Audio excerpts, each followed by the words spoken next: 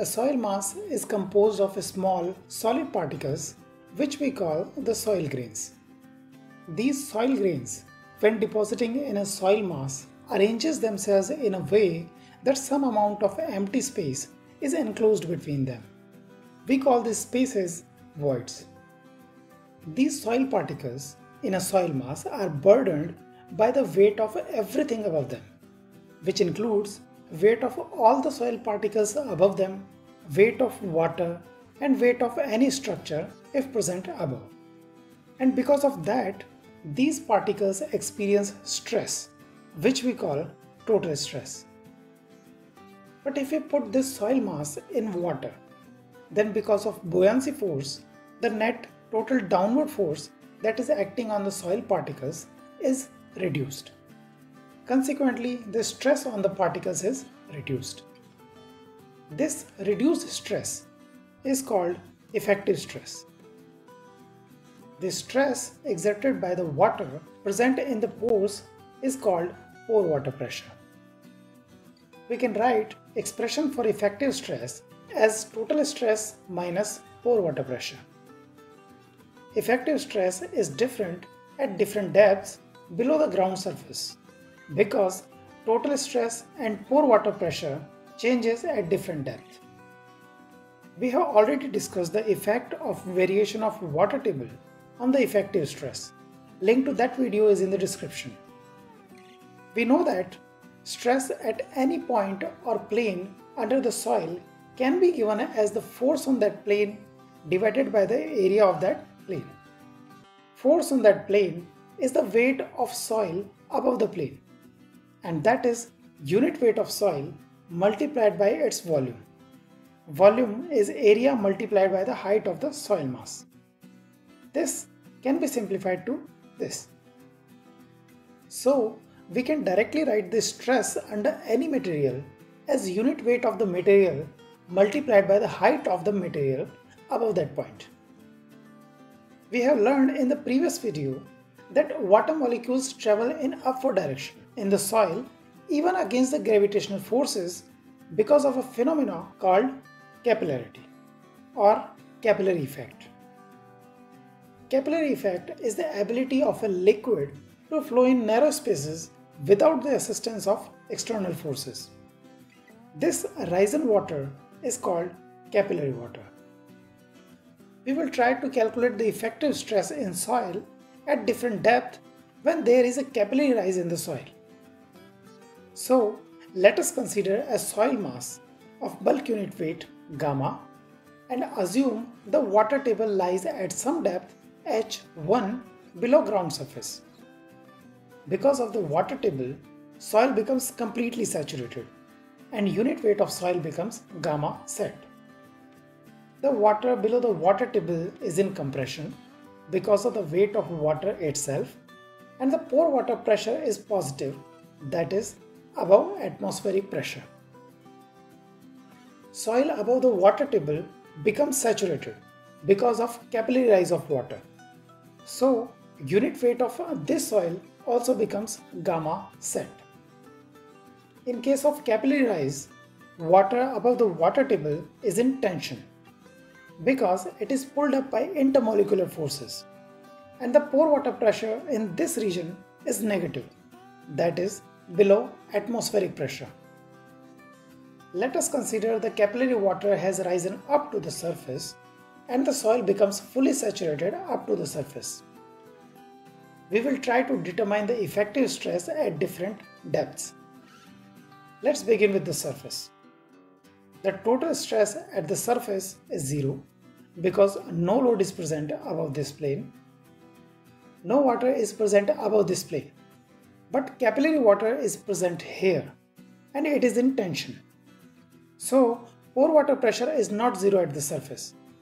It is unit weight of water gamma W multiplied by height up to which the capillary water has risen that is H1 and it is negative as it is below atmospheric pressure.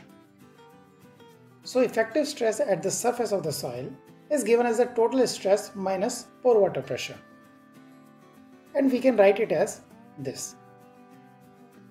If capillary water is absent in the soil, then at the surface pore water pressure would be zero and so would be the effective stress.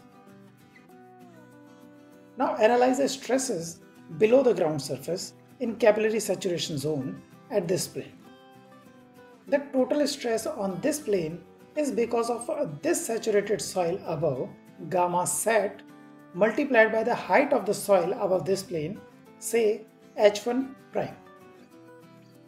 Pore water pressure at this plane is negative because of capillary water present and is gamma W multiplied by the height of the capillary rise up to this plane, say H1 double prime. We can also write this height as H1 minus H1 prime. So pore water pressure can be written as this. We should note that water present above this plane does not cause to increase the pore water pressure at this plane because this water is also capillary water and is in tension. It cannot compress the water below. So effective stress at this surface can be written as this. By solving we can write it as this and this quantity can be written as submerged unit weight of soil. Now let's analyze the stresses at the plane present at the water table. The total stress on this plane because of the saturated soil above gamma sat H1. Pore water pressure at this plane is 0 because water on the water table remains at atmospheric pressure and water is neither in tension nor in compression. So, effective stress will be equal to the total stress. Now move a little more down the water table and analyze the stresses at this plane. Let's say it is H2 depth below water table. The total stress on this plane is because of saturated soil above the water table of height H1 gamma sat H1 plus stress because of saturated soil below water table of height H2 gamma sat H2. Pore water pressure at this plane is compressive and is because of this water only that is water below the water table. Water above water table has no effect under the water table. So pore water pressure is positive gamma WH2. Hence, effective stress at this surface can be written as this. And we can write this quantity as submerged unit weight of soil.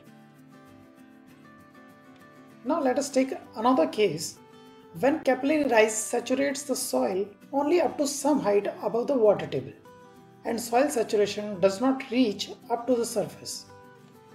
Saturated part of the soil has unit weight gamma sat.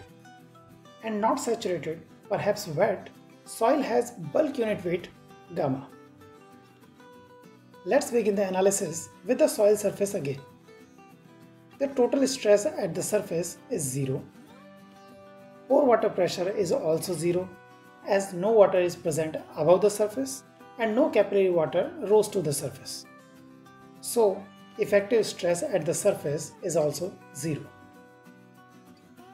Now let's analyze stresses at this plane, up to which the capillary water has saturated the soil. The total stress on this plane is because of the soil above this plane, bulk unit weight gamma and height of the soil above this plane say H1 prime. Pore water pressure at this plane is negative gamma W and height of this plane above water table say H1 double prime. So effective stress at this surface can be written as this. By solving it, we can write it as this. Now let's analyze the stresses on a plane at water table.